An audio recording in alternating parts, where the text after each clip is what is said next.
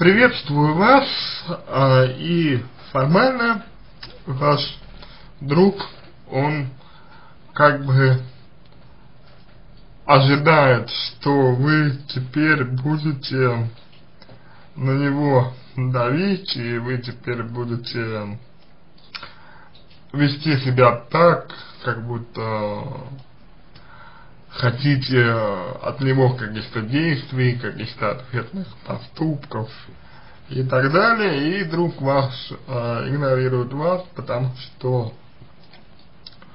э, вполне вероятно, что ему не очень приятно, что э, в вашем лице он потерял друга. То есть вот у него были вы, а теперь он вас потерял. Ну, как друга потерял. И он из-за этого переживает.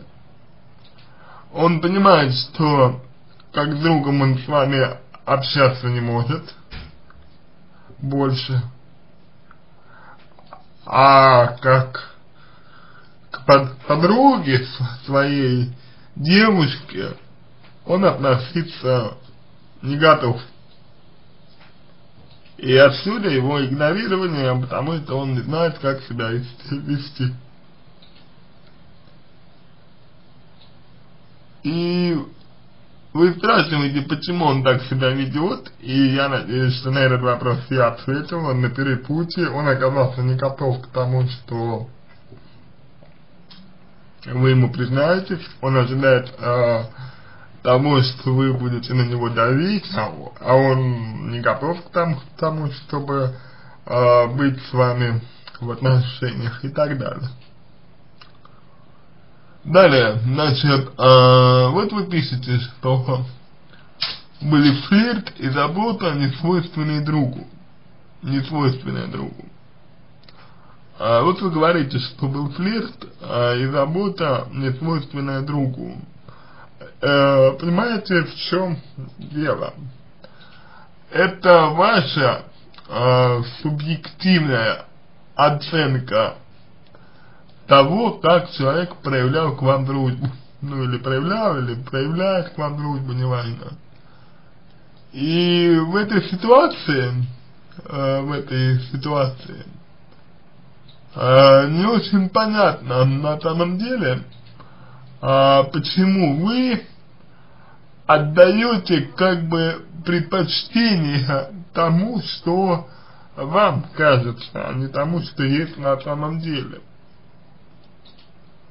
То есть я, я хочу сказать, что если вы считали, а, что ваш друг ведет себя, ну, никак а, с другом, да, если вы считаете, что ваш друг вел себя как-то не характерно, то это по каким критериям вами оценивалось? По вашим собственным критериям или по а, его критериям. То есть, если была забота не свойственна другу, если был флирт, то, соответственно, это должно было, а, получается, во что-то большее перерасти. Но это не переросло во что-то больше.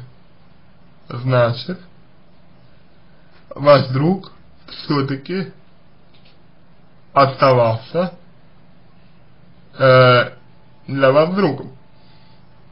Но вы этого не признавали. Вопрос заключается только в том, почему. Вот почему и что вам мешало а, признать тот факт, что друг, это все-таки просто друг. И не более того. Далее, вы говорите, что э, я, я э, значит, э, правда, я к нему испытывала чувства, значит, к другу, с которым мы неплохо общались. а, долгое время я не решалась сказать ему о них, а, почему не решалась, потому что не хотели потерять друга, пишите вы, но и молчать я тоже долго не могла. А, так вот, а, уважаемый аноним, а ваша позиция-то а, по итогу, она какая? Вы не, не, не решались а, сказать своему другу о чувствах, но все-таки сказали и судя по всему, потеряли друга. Так какую цель вы преследовали, когда говорили ему о чувствах? Вот вы видите, через а, некоторое время я все же решилась и призналась. Чего вы ожидали? Какой реакции вы хотели?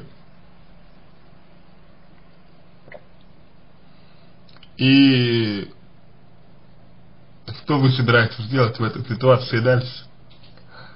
А вам сейчас нужно, если вы хотите этого человека сохранить в своем окружении, вам сейчас нужно не спешить, не торопиться, спокойно здороваться с ним, общаться. И через какое-то время просто откровенно ему сказать, чтобы он не переживал, что вы не будете на него давить что вы готовы с ним дружить, что вы хотите с ним общаться и так далее, так далее, так далее. И надеяться на то, что, что ваш друг согласится на это, что он постепенно-постепенно расслабится, увидит, что вы от него ничего не требуете и будет с вами общаться. Только так. А другого пути нет, потому что если бы у него были чувства, он бы с вами сблизился, а так получается чувств у него нет. И то, что вы воспринимали как флирт и заботу, это ваша субъективная оценка, которую вы э, поставили в главу угла при, при э, определении своего решения. Это неправильно, к сожалению. Вот так, э, я думаю, можно вам ответить на ваш вопрос. Надеюсь, что помог вам. Если какие-то дополнительные вопросы у вас остались, пишите в личку, я вам помогу. Э, если понравился мой ответ, э, буду благодарен, если сделаете его лучшим. Желаю вам всего самого доброго и удачи.